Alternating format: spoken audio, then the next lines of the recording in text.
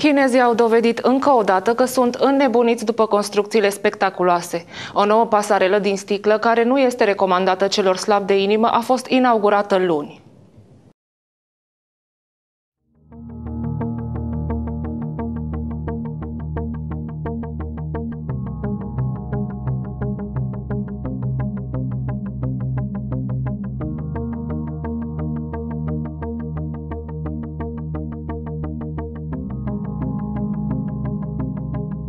O nouă pasarelă din sticlă, cea mai recentă modă la capitolul turism în China, a fost inaugurată luni. Denumită Calea pe Dragon, pasarela este situată la peste 1400 de metri înălțime și are 100 de metri lungime. Traversarea imensei pasarele este o oportunitate perfectă pentru a realiza cele mai frumoase fotografii, dar turiștii trebuie să treacă mai întâi de frica de înălțime.